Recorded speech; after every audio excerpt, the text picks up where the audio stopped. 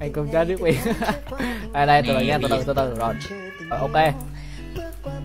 Rồi bây giờ vợ đi theo chồng nhá. Bây giờ đây chạy qua lẹ lẹ lẹ lẹ.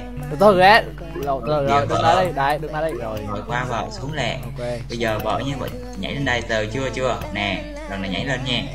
Rồi nhảy lên. Rồi chạy cứ chạy đừng đừng có đứng lại. Rồi xong sao lại tao. Ơ hay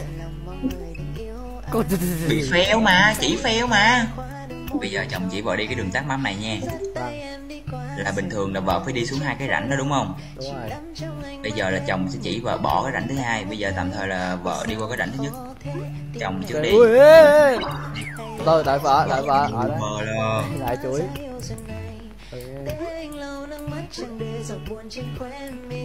đè cái chân lên. Rồi. Rồi xuống đây. Rồi bây giờ chồng bảo nhá một tí nữa đợi cái thanh trắng này nó chạy chạy tới đây luôn nè chạy tới chồng đứng nè thấy chưa? Ừ đợi cái thanh trắng ở trên chạy tới đây. Xong rồi lúc đó vợ nhảy lên vợ nhảy lên vợ đi vợ cứ chạy thẳng luôn. Chừng nào mà cái thanh trắng nó đụng vào vợ mà vợ sắp rớt ở cái rãnh thứ hai thì vợ bấm nút nhảy. Hiểu chưa? Bây giờ zoom xa đây zoom xa ra nhìn chồng làm trước. Ok chưa? Từ từ từ đợi cho coi đây cái. Nhìn nhẹ. Rồi xong chưa? Từ từ từ chưa? Rồi nhảy đây rồi rồi rồi chồng nhảy nhảy lên đấy nhảy lên xong rồi đợi nó đi hết đường rồi nhảy thêm một phát nữa là lên cầu thang. Rồi làm thử đi. Rồi. Ui ơi rồi.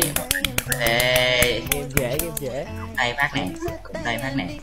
Cũng cũng cũng ghê. phát cũng phát. Cũng phát. Xoài. Rồi. Rồi